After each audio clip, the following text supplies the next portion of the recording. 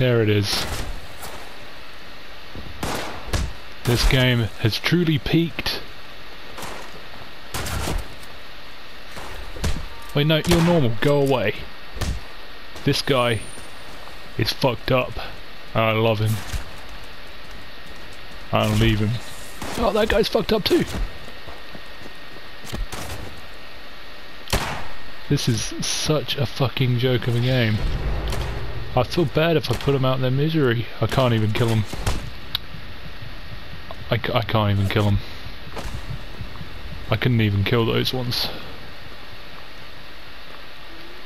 That's great. Are they still like it? They still like it? That one's normal. Okay then.